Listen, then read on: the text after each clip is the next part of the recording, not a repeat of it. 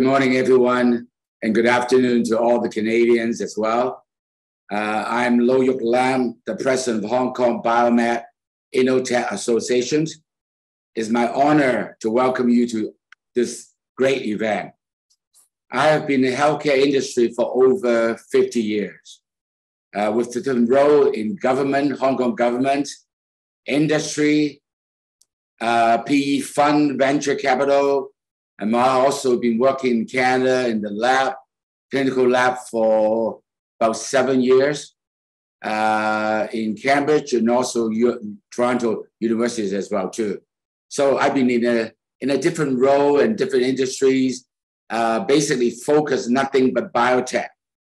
So I, I, I have seen the tremendous development in changing the healthcare sector all over the world, especially Canada and also China as well too. Uh, will, will, you just heard from uh, Mr. Wong from Ping Shan uh, tell you the opportunity and also the development from Ping Shan, which is I greatly believe Ping Shan is a, is a good place uh, for uh, considerate. Uh, but now I would like to talk about the present development advantage of Hong Kong healthcare industry. According to the national plan, Hong Kong been given a role of international center for INT, innovation and technology. And healthcare sector become one of the most main development area. Healthcare sector is one of the area which Hong Kong enjoy clearly advantage. Hong Kong government has put a lot of effort into research, development, and also various fronts as well.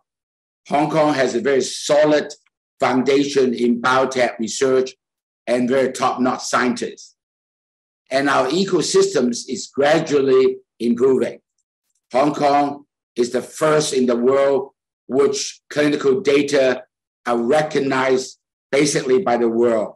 Name NMPA from China, FDA from US, and EC from Europe, and all the major uh, authoritative regulatory body. In terms of infrastructures, Hong Kong Science Park, Hong Kong Shenzhen Innovation Technology Park, Inno Hong Kong clusters, and North to Met- Met- Metropoles as well uh, are well equipped to provide relevant infrastructures for the industry.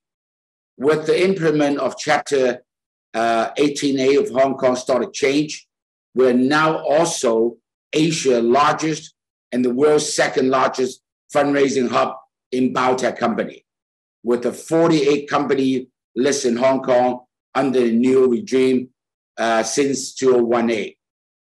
In 2020, the policy address opened a new chapter for Hong Kong. Our government set up dedicated team and established a fund to attract international entrepreneur and talent to Hong Kong. Of course, we're going to have a roadmap very soon as well too. Well, this is a very historical opportunity.